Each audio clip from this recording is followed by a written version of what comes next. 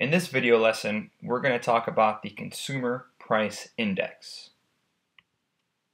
The CPI in the United States is defined by the Bureau of Labor Statistics as a measure of the average change over time in the prices paid by urban consumers for a market basket of consumer goods and services.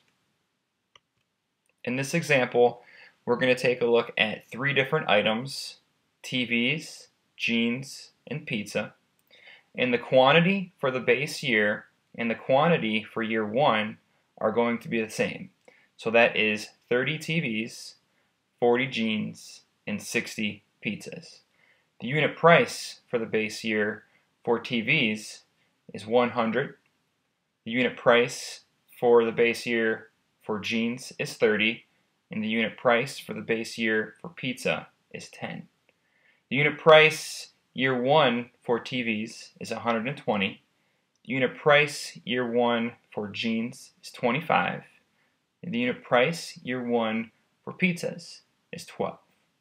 So to find the spending for the base year, we multiply the quantity times the unit price. So 30 times 100 will give us 3,000 for TVs. 40 times 30 will give us 1200 for jeans. 60 times 10 will give us 600 for pizza for a total spending in the base year of 4800 The spending year 1 for TVs would be 30 times 120 which would give us 3600 The spending year 1 for jeans would be 40 times 25 which would give us 1000 and the spending year one for pizza would be 60 times 12, which would give us 720. So the total spending for year one would give us 5,320. The consumer price index for year one would equal the spending in year one divided by the spending of the base year times 100. So our numbers would be for the spending in year one, 5,320 divided by the spending of the base year, which would be 4,800 times 100, which would give us 110.8. The price change equals the change in CPI divided by the base year CPI times 100.